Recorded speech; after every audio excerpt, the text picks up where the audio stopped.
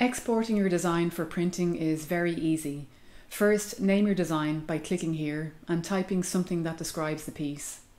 If you've made changes and this is your second or third version, make sure to add V2 or V3 to the name, or whatever version you're working on. This is so you can keep track of each change. Then click on Export and choose .stl. STL is a universal format used in 3D design and is compatible with the slicing software that you'll need to prepare your file for printing. I have a series of videos walking you through using Prusa Slicer if you'd like to know more, and I've included the link below. Once exported, you'll find your STL file in your Downloads folder or wherever your downloaded files usually go on your computer.